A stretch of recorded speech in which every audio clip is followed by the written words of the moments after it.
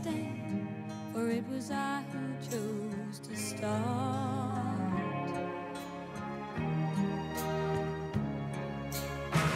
If morning's echo says we've sinned, well, it was what I wanted